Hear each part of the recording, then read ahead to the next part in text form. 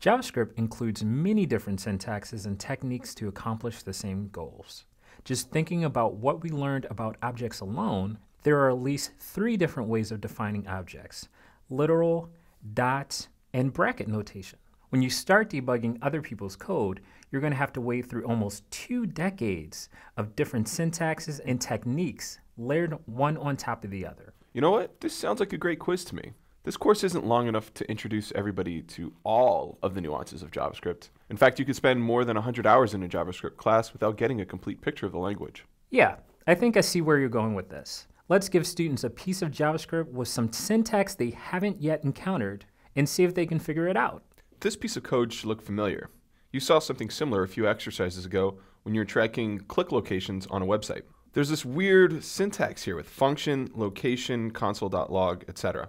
What is going on here? What is document.click taking as a parameter? Do some research, try testing it out in DevTools, and put your thoughts right here.